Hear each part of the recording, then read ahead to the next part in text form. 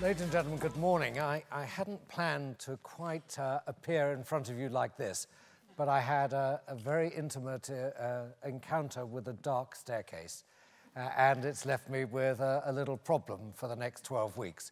Uh, but it's tremendous to be here, and I'm just going to put this down before I do anything else. It's very good to be here. I thought what I'd do is just spend 15 minutes or so talking about uh, my book, The Glass Closet, uh, and why I wrote it, uh, and what I learned while I was writing, writing it, uh, and then perhaps uh, open it up to Q&A, which is, is probably much more interesting than anything I can tell you. Uh, I, I, wrote this book really for four reasons. The first is uh, to talk a bit about myself and for the purpose of almost ensuring that nobody else thought that what I did was, was a good idea and that they wouldn't repeat what I did. The second was to find some role models, people who'd come out in the corp corporate world, good in a good way or bad way, and talk with them and, and show them off to the world as a whole so that people wouldn't necessarily imitate them, but they would learn something from a role model, something they could identify. Thirdly, I made the observation when I was writing this book that uh, there appeared to be as you went through the S&P 500 and the FTSE 100, uh, you found this remarkable um, uh, result that there were no, apparently, no gay CEOs. Uh, and that seemed to be statistically improbable, but nonetheless, it was uh, an observation.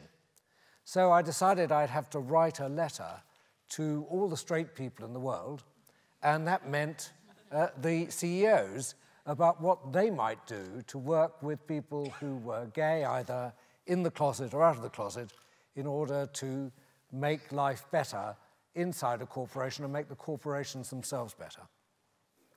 And finally, I wanted to start a, a, form of movement. I'm, I'm, not going to pretend to be a 60s activist. I, am a child of the 60s, but, but I'm not an activist. But I observed uh, a lot of things about uh, being gay. One was it was a minority, and it's normally the case that whatever progress is made with any minority, it always requires constant vigilance to keep it going forward and not slipping backwards. So I thought we'd talk about the movement that way. Let me unwrap those four things uh, very quickly. First, a little bit about me. I was at university in the 60s at a time when it was still quite illegal uh, to do anything about being gay. The Wolfenden Report uh, hadn't been made into law until 67. Uh, and besides, I came from a background uh, of uh, having a mother who'd survived uh, Auschwitz. She'd, she'd, she'd managed to survive and live through Auschwitz. And she had a couple of things she kept talking to me about. Not about her experience, but about her learning. Number one was that if you had a secret, you should tell nobody, because the moment you tell somebody, it's no longer a secret and they'll use it against you. And number two, she's, she kept it saying to me, remember, if you're a member of a minority, when the going gets tough, the majority always punish the minority. So, my conclusion was pretty clear. Illegal, keep a secret, minority, stay in the closet. In fact, don't even think that you're in the closet, just stay quiet. So I did. And my life uh, developed. I eventually developed two lives, uh, almost like a spy, if you will, a, a legend uh, about uh, being um, completely straight and being part of uh, society which was regarded as acceptable at the time, and uh, then a very private and secret life uh, as a gay man. And in my 20s, I found that to be actually quite fun, quite exhilarating, and I persuaded myself that I was learning great skills about how to read danger, read people quickly, uh, dissemble, and it was uh, fun. And as time went on, of course, it was very difficult to keep that secret partly because I got, I didn't know at the time, uh, I got to be very well known. Uh, and I, I, couldn't actually go out without anyone noticing uh, who I was. So I decided to minimize my risks, and as it turned out, by really maximizing my risk. I decided I couldn't go out as a gay man. What I could do, of course, was to get someone to come and see me. Uh, and uh, so I went on internet dating site very early, uh, and I found an escort, uh, and that's what I did. I'm not proud of it. I made a, a relationship, apparent relationship with that person, uh, and uh, it, of course, all blew up. I was on holiday in the West Indies in the end, end of 06, the beginning of 07. I get a phone call to say that your former uh, partner, your former lover, it wasn't a partner, a lover, uh, had sold your story to the Mail on Sunday. And here are 39 questions you had to answer. And I immediately froze. I thought that life was going to finish. It was the end of my uh, pretense uh, about myself. And I thought all sorts of terrible things would happen. So I tried to prevent the publication.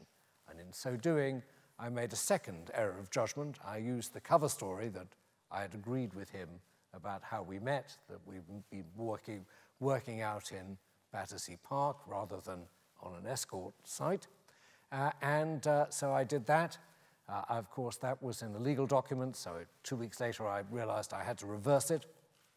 But I was searching for a super injunction, which in the end all failed by the end of April and on the 1st of May, I decided quite unilaterally that I had to resign from BP and leave because I would take the company through uh, what I thought was uh, going to be uh, a little media storm. Little was an understatement. It was a very major uh, uh, media storm that I was in the middle of. And I thought to myself, with all that, I'd have no friends, I'd have no business contacts, that I'd probably have to go and escape somewhere. How, how wrong I was. Uh, first of all, people supported me. Uh, when I went onto the street, uh, strangers stopped me and shook my hand and said, know, sorry about what happened to you. Uh, and, uh, and I realized, and people wrote letters to the newspaper, I realized very quickly that all my worst fears uh, about being a, a social outcast were completely wrong. And actually what I'd done was completely wrong uh, to stay in the closet. But it was, as they say, it was what it was, uh, and I had to start a, a, new life. I didn't want anyone uh, to repeat that set of experiences. My second reason for writing the book was actually then to look for role models, talk to people who've been in different circumstances, uh, all people from different parts of the LGBT uh, community. Uh, had they come out well? Had they come out badly? Were they still in the closet? What was remarkable when I was doing all these interviews with a great researcher was how many people were still in the closet and how many young people were still in the closet and how many young people had left university where they were completely out and then joined business or the professions and had gone straight back into the closet. And their reason was that life was very competitive, uh, and they felt that having their sexuality paraded might get in the way of promotion. They were not confident uh, that the organizations they were in were inclusive, uh, and that what sometimes the bosses said was actually meant, uh, and that it would just get, uh, it would actually destroy any chance they would have in being part of a team because they'd be regarded as weak uh, and uh, altogether not a good thing to do. And the paranoia was remarkable, uh, almost the sort of paranoia that I remembered I had. I interviewed uh, a young man who uh, first gave his name, and well, I obviously knew who he was. and when we read back the interview to him, we identified him as a, a banker in London, and he said, You can't do that. And I said, Why not? He said, Well, you can't say I'm in London because they might know who I am. If you think about it, it's a bit uh, extreme. Paranoia taken to a very high level. I make the point because there are plenty of stories like that, plenty of things that people still have in their mind because they're not convinced that their workplace is safe uh, for them to be themselves. And so that led to my third point. The question was what to write as almost a letter to straight people about making a workplace safe uh, and inclusive for people to be themselves, have the confidence to be themselves. Obviously, a business case was needed, and I think there are two aspects of the business case that strike me. Number one, I think everybody in this audience must really believe that engaged staff, engaged teams perform better than those that aren't engaged. And studies show again and again that companies, great companies with really great engagement on these long-term staff surveys always outperform those companies that aren't engaged, don't have engaged staff, by quite a big factor, by about 2% every year. And that's an enormous outperformance in terms of return. Second business case is, uh, and I may say that engagement seems to correlate entirely with inclusion. You have to have inclusion before you can have engagement. And, and the second is the question of diversity, recruitment, getting the best people together by having a really inclusive environment. So I thought I'd write to the CEOs and, and say uh, several points. First, you obviously have to set the tone from the top. You have to say what you want and you have to measure what you want, and you can do that with surveys. But rather more importantly, you need to sit with your intermediate managers. And I saw this again and again when I was invited to speak to many of the large corporations of the world. And in my own experience, it's true that as the leader, you can ask people to do things, but unless you get with them and reorganize their time allocation, nothing much happens because it's all about time. Uh, and I'm always struck by CEOs who say, my most important asset of my people. And then on analysis of their diary, you should think, therefore, their most important time is spent upon people. And that very rarely is the case. And when you analyze the diaries, I used to find it with mine, I used to say, no, I've got to do better. So it's just a matter of getting people to really participate. I've been to several large organizations who say, my CEO is committed, but nothing's happening. Nothing's happening. We have an LGBT network. It's interesting, uh, but it's neither connected because it doesn't have straight allies on it, and it's not connected to the top because the intermediate managers don't do anything about the instructions from the top or the tone from the top.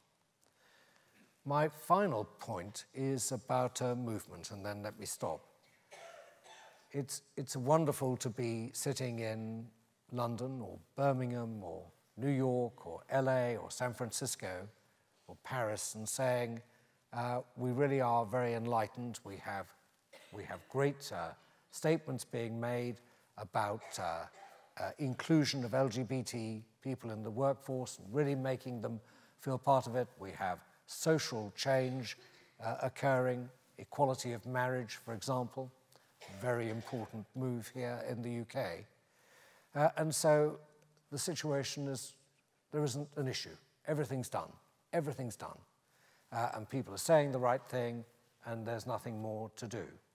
That's not the case. The glass is definitely half full, it's not half empty when it comes to these great Western societies. But then there are a lot of other parts of the world. There's still 77 countries where to be gay and doing something about it or to promote being gay uh, is illegal uh, and can, in five or six cases, uh, lead you to the gallows. So it's tough out there, and it's very tough for large companies who work in many different environments in the world. It's very tough indeed if they're not inclusive, because then they don't know who's gay and who's straight. But if you do know who's gay, then you need to think how you can get those people, get all gay people to have the same uh, crack at uh, opportunities being posted to these countries uh, as straight people. And that's a, a great thing to do. It's a great thing too, provided you can keep your staff safe, to have a safe environment, an inclusive environment in the company, even in very hostile, big environments. Tough to do and very, has to be done very carefully. But I thought it's important to say to CEOs as well, you have a role in this. You can nudge things along. You can't change the law. You can't break the law. In, uh, in parts of the world, what you can do is influence by demonstrating that there are people there in your organization who are part, who are LGBT people who can participate on an equal basis uh, in, your in, your in your company in different countries. Ladies and gentlemen, that's all I wanted to say by way of introduction. I think I'm pretty well on time. Uh, really, the, the floor is, is yours, I think, to make a comment or ask a question. I'd be delighted to talk with you. Thank you very much.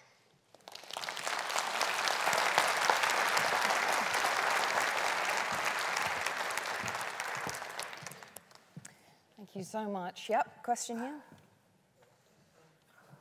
Yes. Um, no, I think there's a microphone coming. Hopefully you don't have to shout. Hello, thank you very uh, Hello, testing. Thank yep. you very much, very inspiring. I very much enjoyed your book, and I married thank my you. partner in November, so thank, thank you. you. very much for that. Um, and actually, as, as obviously a member of the House of Lords, uh, you have an impact on lawmaking. You've made a case to business, and I just wondered how receptive you find the lawmakers in the country to, to, the, to the agenda for gay people.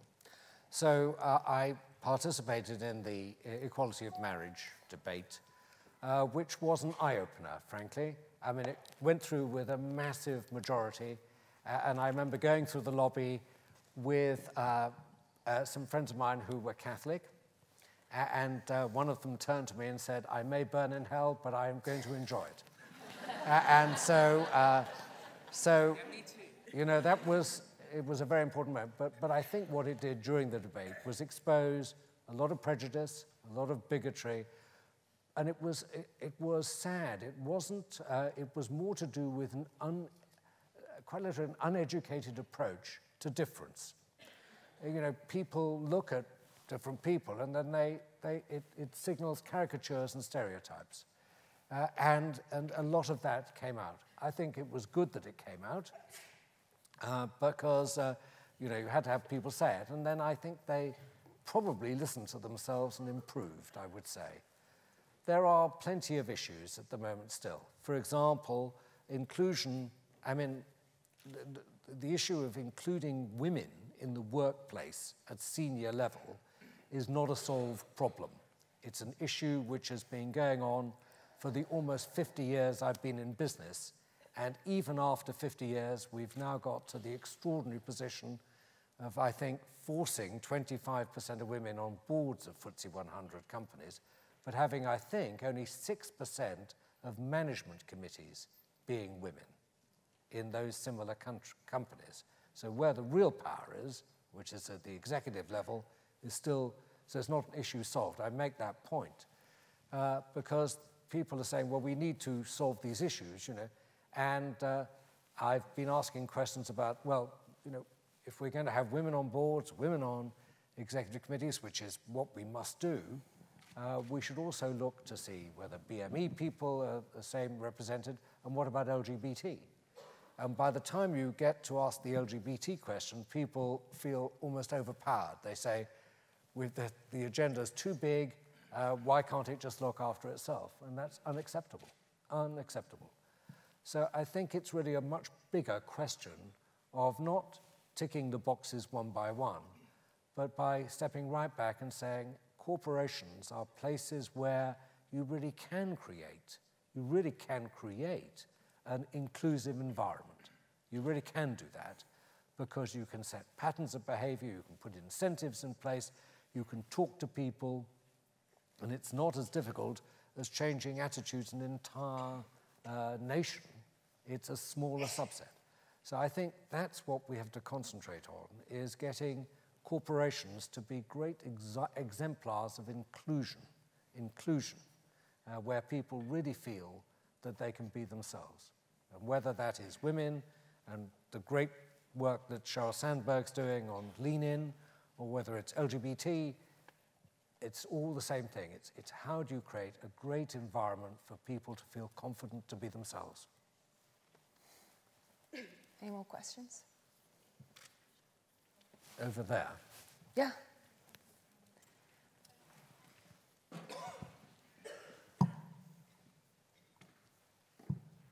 Thank you. Um, an incredibly inspiring talk. I really enjoyed it. Um, Thank you. And I, I mean, it's a question about practical application. So I'm doing a mental check of our leadership team. I'm thinking we've got some great role models there. So I have a clear picture of that. But you mentioned um, middle managers and line managers. And um, could you give an example of what we could be doing in an organisation to, is it conversations, is it um, oh, education of what kind? If you, could you paint sure. a, a picture briefly? So I think that... some of it's face-to-face experience. Uh, I tell the story in my book of a woman who came out uh, in a defense contractor in the United States. And when she'd come out, she got her, her straight colleagues together and said, let me explain to you what it felt like. Imagine if you went back to your office, took off your wedding ring, took down all the photographs you had, put them in a drawer.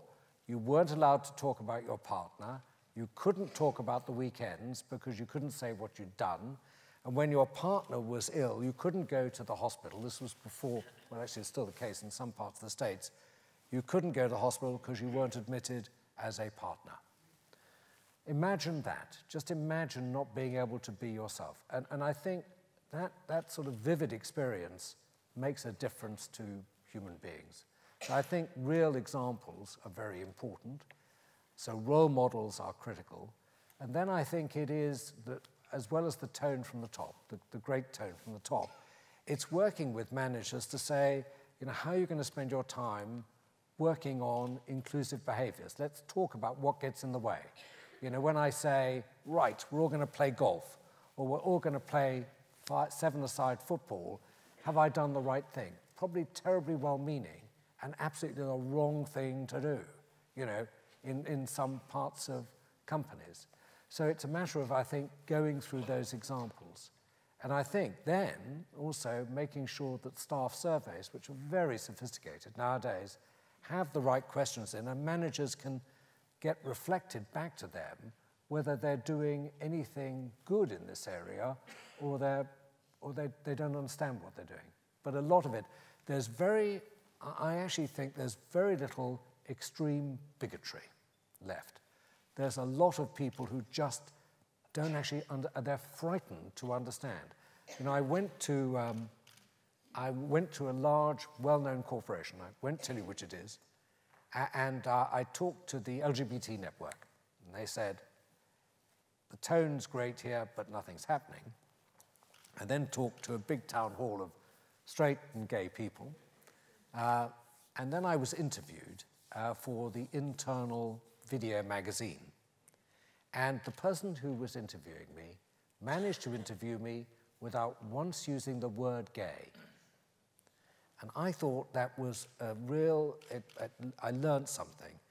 And it takes a lot of energy for people to actually just say it the way it is, you know, and say, this is okay, you can talk like this.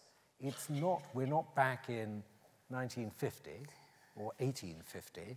It's today. And you can talk about people being gay. You can talk about lesbians. You can talk about bisexual people, transgender. You can actually talk about it. And I, it, giving them almost permission to do it is very important.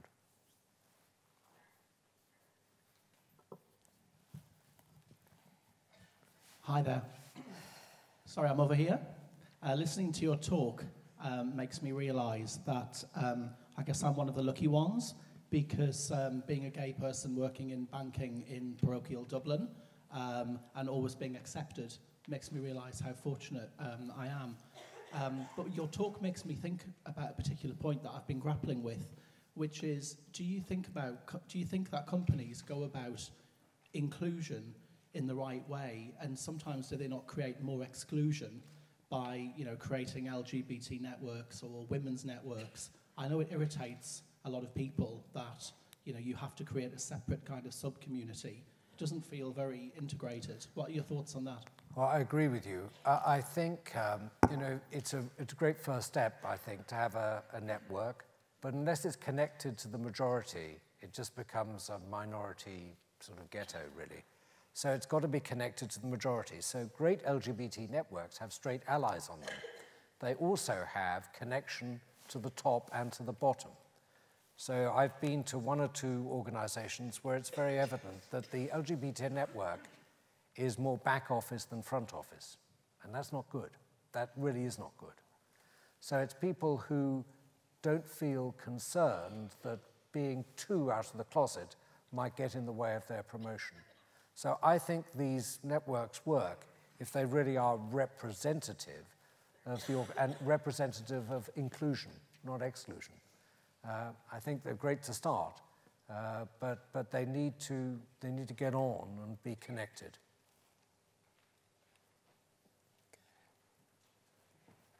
Question here? Okay, thank, thank you. Um, understandably, you mentioned um, very quickly your move from the 60s to 2006. And I just wondered how many occasions and what was going through your mind during that period, and whether you ever thought, actually, in the position that I am, why don't I come out of the closet and, and take that step? I think uh, here's the advice I give people. I think I was so invested in these two lives uh, that it, it never crossed my mind. And I think you have to come out before you've invested enormous energy into this apparatus. And strangely, I, I was giving a talk at the Hay Literary Festival on this book. And a, a man got up in the audience, said, I, don't, I didn't work for BP, but I work in the oil and gas industry. And John, we all knew you were gay. Uh, the only question was we couldn't find anyone to go and tell you that you know, and, and I thought to myself, yep, that's right. You know, people aren't stupid. They aren't dumb. but they're also, people are kind, actually. They're sometimes too kind. You know, they just let people be in their own space. Uh, and uh, so it was clear. I mean, I thought it was a, a wonderful statement. It was clear, but it was not clear to me.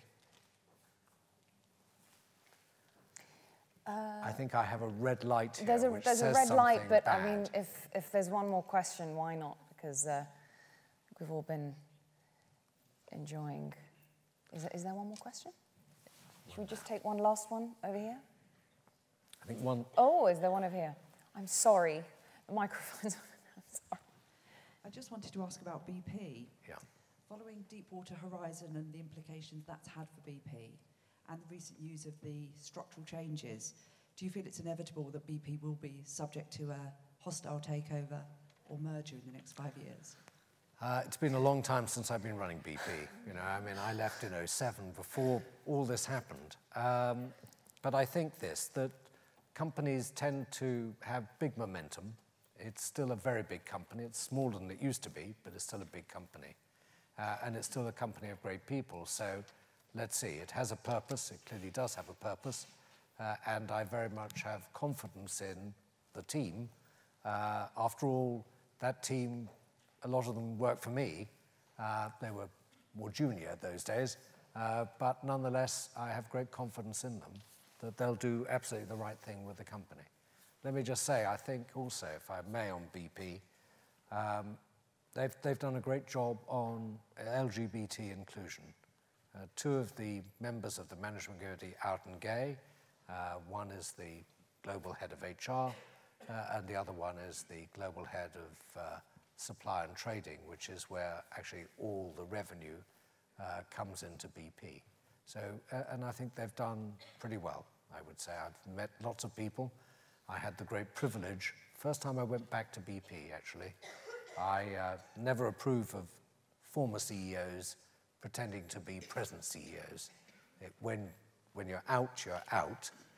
Uh, so it, I went back, um, let's see, I went back after over seven years for the first time into St. James Square, the, build, the headquarters, uh, and the purpose of going there was to give a presentation on the glass closet. Ladies and gentlemen, you've been very kind. Thank you very much for listening to me.